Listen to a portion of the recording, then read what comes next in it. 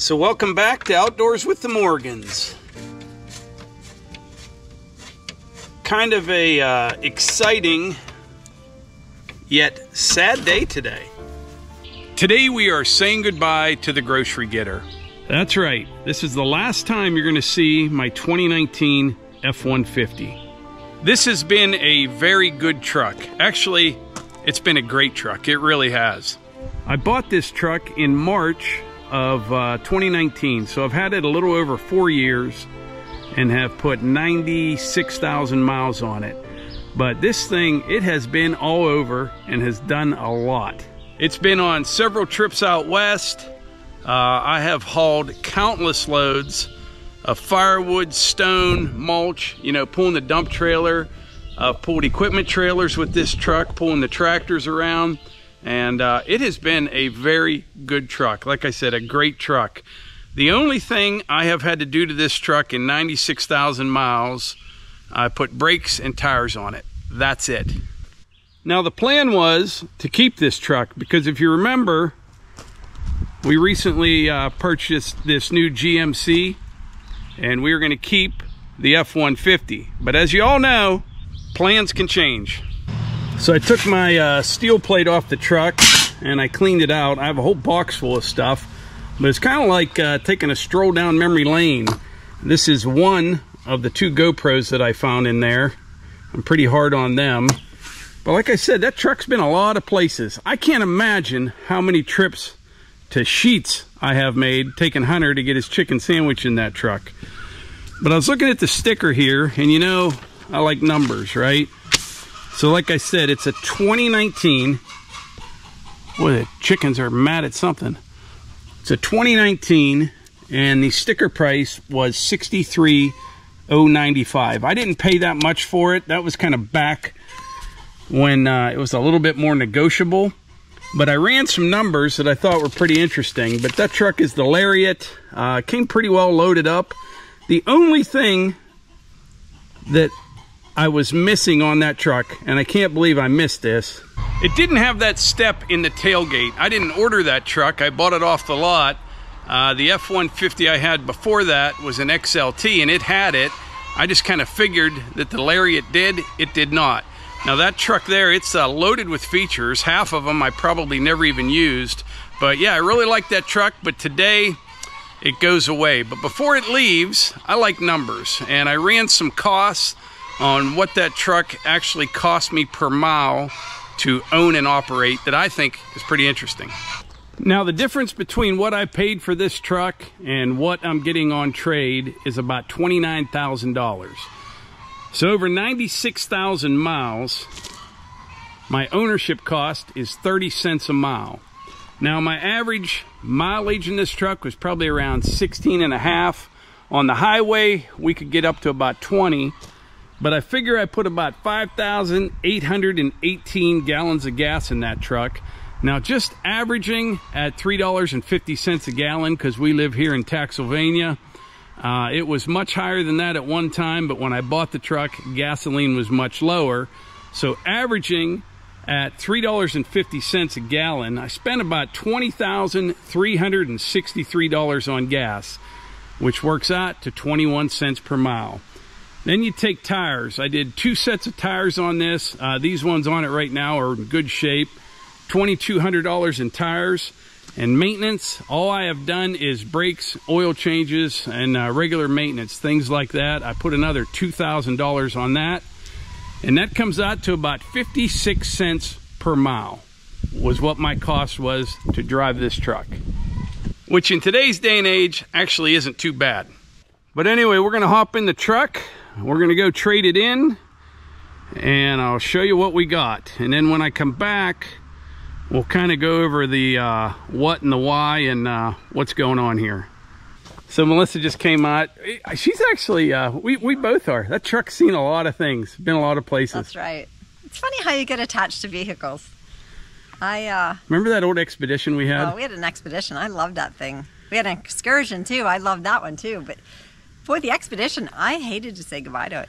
But that thing was rough. It had about 200 and some thousand head gasket. Yeah, it was rough. Multiple dents and guy flew in from Mexico. Mexico.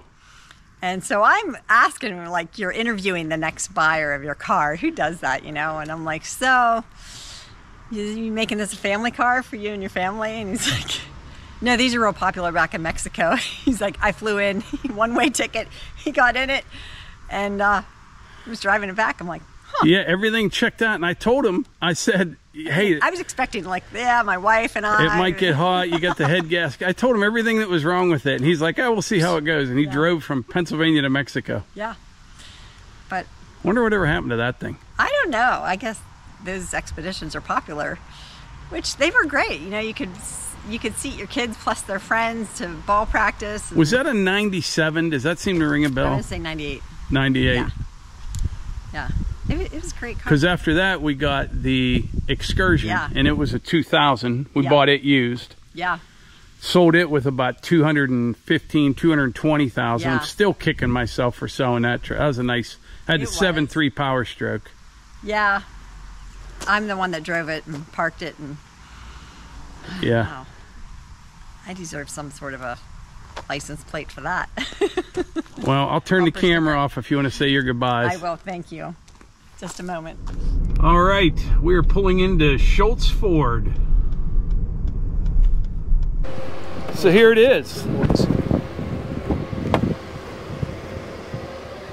So this is Adam with Shults Ford.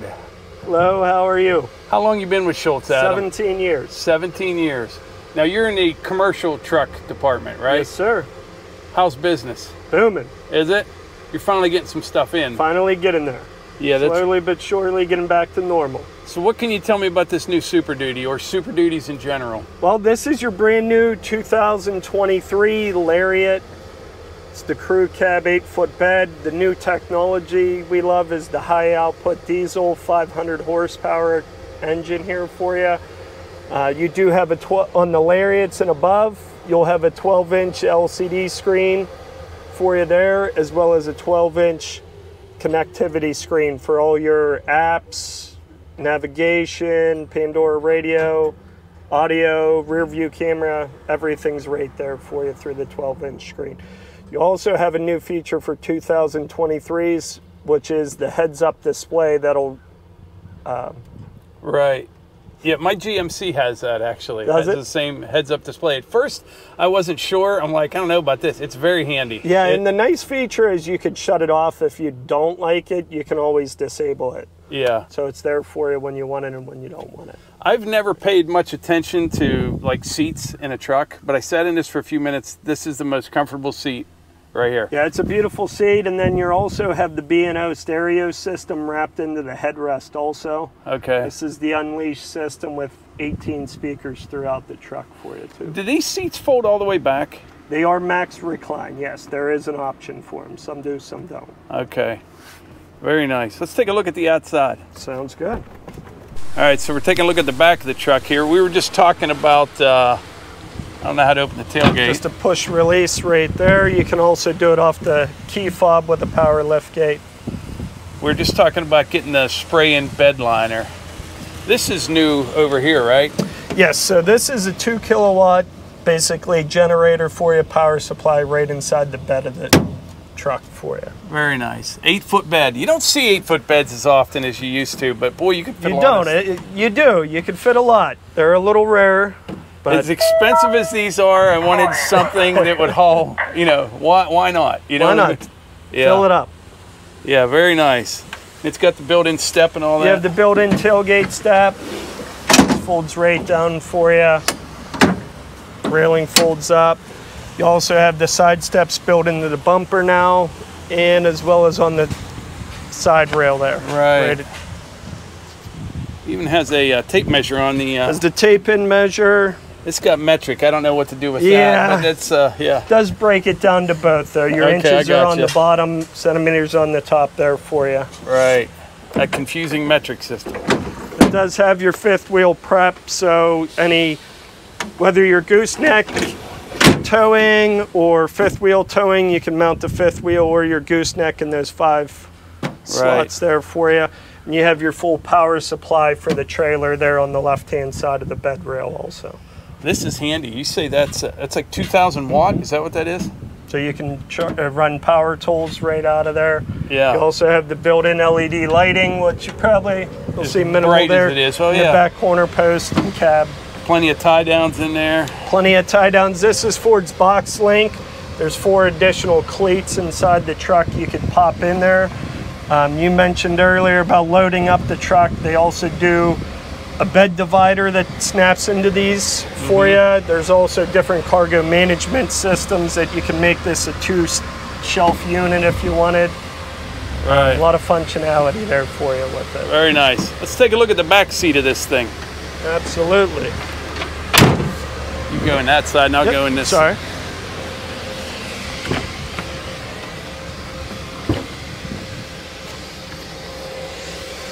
Nice big Here's storage that area. BoxLink we Oh, yeah. about. And then your jack's all mounted right here for you. You have the amp for the B&O stereo system, and this cargo unit just folds down for you. I see. Yeah, both sides. Yeah, there's that lock there, and this will fold down flat for you. I gotcha. Seats are just fold right up or released down by the loop of the headrest. And you have the center console here with cup holders as well. And then the second row you have USB ports there for you, another 12 volt, and then you have a 120 volt outlet Right. there also. Your heated seats, two levels for the two outboard seats, and your heating and air vent controls there for you too. Right. Nice little storage pockets in here. Big sunroof on these. Now that's the twin panel moonroof. The back piece is just a stationary piece of glass, and your front one will lift up and slide over top for you. That's the same as my uh, F-150 had the same Yeah. type. It's nice. So the color is uh, Rapid Red, which is the same color as our Bronco, but I think they quit making the Bronco in Rapid Red after 21. Correct. okay. Now you guys sell all Ford products, obviously, but Ford and Lincoln. We have our Lincoln dealership right down the street. and you're mostly or entirely commercial, 350s, 450s, 550s. Correct. I mean, I do do personal vehicles also, whether they're referrals, previous customers. Yeah. Do a little bit of everything, but specialize more in the commercial. Well, I appreciate it. It has been uh, effortless. Besides taking Thank some you. time, which everything takes time nowadays. but, uh, Appreciate that greatly. all right, man. Well, thank you. All right, thank you. All right, so we picked up the new Ford uh, yesterday from Shults Ford. Uh, we'll give you a better look at it here in just a minute. But I want to explain how this all went down. We didn't really have any plans on having two new one ton pickup trucks. It was basically all her idea. We'll get to that in a minute. But let me explain what happened here. So, number one, we ordered this truck behind us. I had to write this down because there's a lot of dates and it's a little confusing but it's actually kind of a crazy story here. So I ordered that truck in, uh, I think, the end of February. But on March 10th, I got an email from Ford confirming the order. That was on March 10th of this year. Then on April 25th, I got an email from Ford saying the production date was set for July 24th. And I thought, okay, that's not too bad, you know, a couple more months, whatever. Then on June 6th, I got another email from Ford saying the production date changed from July 24th to August 28th. And I'll be honest, it kind of threw up a red flag because you remember the tell them about the Bronco. How Here long? we go again. Yeah, here we go again. Because the Bronco, months. yeah, it was probably a year and a half it took. So they changed it to August 28th, and I thought, you know, I need to get something to be able to pull stuff down to West Virginia. And at that point, I said, that's it, I'm, I'm done. And I found the GMC with the help of Matt from Penn Fencing. He was telling me about a dealer in Butler, Baglier. And uh, matter of fact, I came home from West Virginia and I drove straight up there and I saw the GMC there and I bought it the next day, which was on June 9th. These dates matter, actually, it's pretty crazy. So on June 9th, I bought the GMC and I forgot about the Ford. Well, on June 12th, we published a video showing the new GMC, and that video kind of took off as like 800 and some thousand views, and that was on June 12th. On June 13th, the very next day, we got another email from Ford, and I'm expecting it, you know, the production date changed till October or something, but it said it, changed to June 19th. I had never seen it go move up like that. You know, Yeah, you know what I right. mean? So they moved the production date to June 19th. I told her, I said, you're not going to believe this, but uh, now they're building the Ford like next week. And she says, what are you going to do? And I said, uh, nothing. I got a truck and I like the GMC. And we kind of left it at that because we knew by the time it was built and shipped, we had some time to make up our mind. And it wouldn't have been a big deal to cancel our order or anything like that. And so then a couple weeks ago, we get an email that is built and being shipped. And uh, that's when I talked to Melissa and I said, Yeah, I'm just going to call them and tell them no. And she said, Why don't you get it? my thinking was this. Now, hear me out. Uh, we traded the F 150 in on it. This, um, pulling up the driveway, this is a beautiful truck, I have to say. I keep turning to look at it because it's really beautiful. And the one right here, we wanted to run them both for six, maybe up to eight months. Um, in the future, we've had plans of getting a dump truck. Uh, we have a great use for a dump truck, but what our thinking is that we would run both of them, see which one we like the best, trade it in on a dump truck that we want to run. So as of now, we don't know which one Right. we'll get rid of. And the, the thinking, you'll understand more in a few months why we need like a good roadworthy dump truck. Uh, but that's been something we've been talking about for a while. Yeah. And you know, the F-150 was a great truck. Uh, It was. It really was. And and the timing wasn't exactly Brings a tear to my eye thinking that we had to say goodbye. yeah. So basically what we're doing, one of these two trucks will go bye-bye in uh, I don't know, six or seven months. We'll have to see. Yeah. And, And- they're both very nice trucks. Very nice looking. I love the looks of this. I love riding in it. I've ridden, I drove this. I didn't ride in it as passenger yet, but this is beautiful and it's very comfortable. Um, I think they're also like not related. Like they are the same pull capacity, right? Yeah, just about everything, and they're yeah. they're basically both spec the same. In other Okay. words, like this one is the FX4, which Right. is kind of like the AT4, the GMC. AT4, That's got the Duramax diesel. This has the Power Stroke. 6.6 liter. Yeah, 6.7. 6.7. Yeah, I got that one more, point one more. You know? Now the biggest But- difference between these two trucks, this is the long bed, Yeah. which is what I wanted originally. Uh, a lot of people don't buy the long beds anymore as often, I should say, but I just wanted that extra bed capacity. So And I did not. I love that this is the shorter bed. Um, I didn't want the longer bed, and I definitely did not want a dually. Yeah, this is a I big truck. I seriously woke up after he ordered it. I woke up the next day and I'm like, remind me again. Please tell me you didn't order the dually. He's like, I thought about it. I'm like, you did or didn't? Because I just the Yeah. dually. Come on, that's just this is already going to be tough enough to park. Yeah. The other difference is uh, the GMC has power running boards. The Right. Ford does not. Yeah. pretty nice in the GMC, but I'm saying down the road a ways, Mm-hmm. probably best not to have them. You know what I mean? This one has like the lights on the fenders. This one doesn't have fenders, let alone lights on the fenders. They both have sunroofs, Yeah, both have and they clearance both have lights. lights across the, the top of your your window shield. Clearance lights. I always say at F250 or F350, I don't care what year it is, they just look better with clearance lights.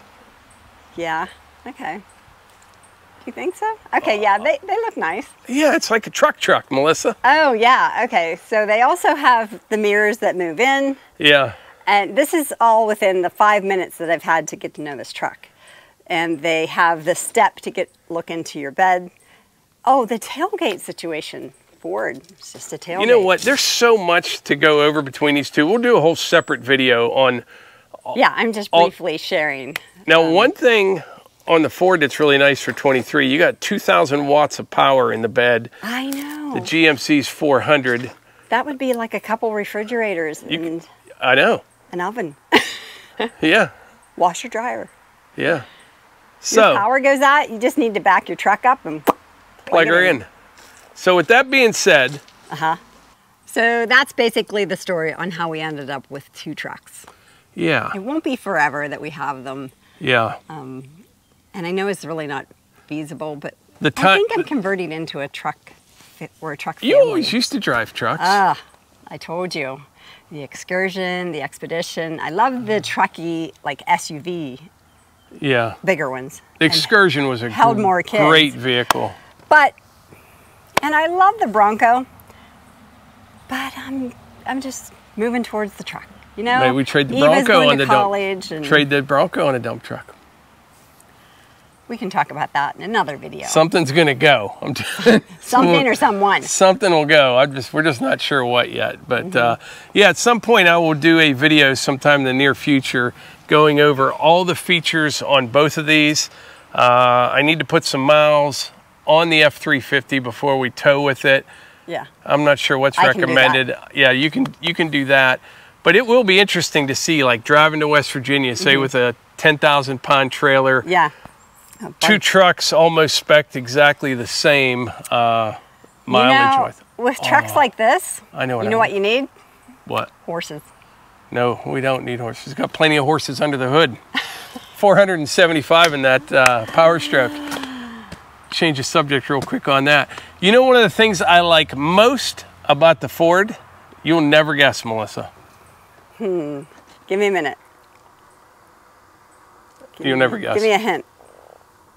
A 45 gallon fuel tank. Oh, wait, yeah, yeah. I mean, you're not a big fan of that when you fill it up, but like a trip out west, I'm anxious to see. You could probably get, I'm just guessing, 850 miles out of a tank of fuel, maybe even better than that on the highway.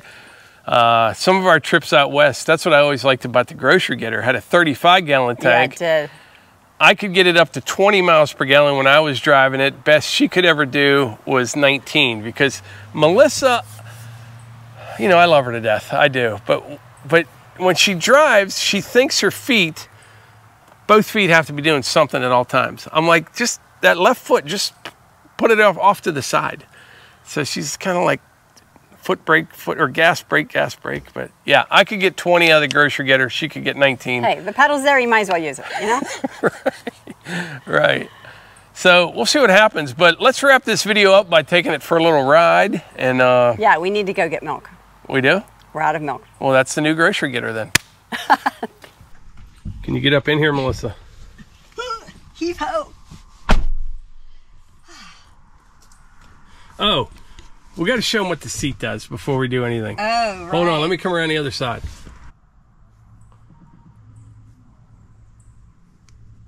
Okay, we've all seen seats recline before, but back door's locked.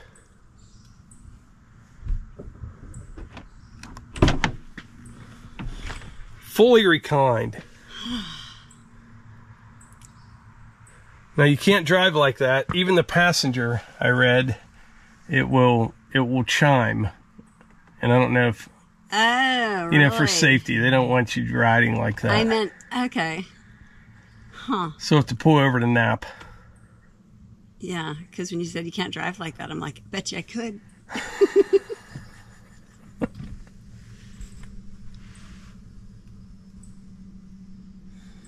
this would be good for my appear out of nowhere trick. Ford went with the uh, full digital screen, no more regular gauges. Giant screen over here. Yeah, I like that. Seats are very comfortable, not just laying down, but just Very comfortable, and they're air conditioned. Whew. Just when I thought I was cool, now I'm really cool. Oh, push this button, Melissa. What's gonna happen? Push it harder. Ah, can keep my essentials in there. Pew, pew. Pew pew. All right, let's hit the road.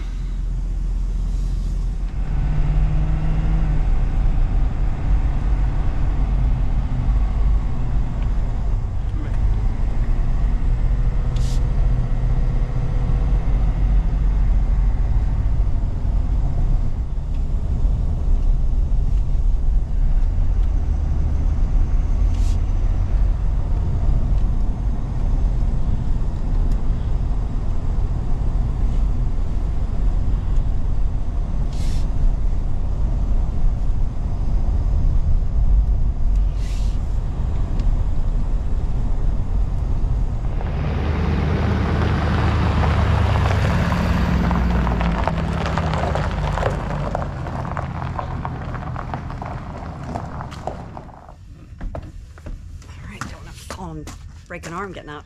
That's all for today's video. Thanks so much for being here. We'll see you on the next one.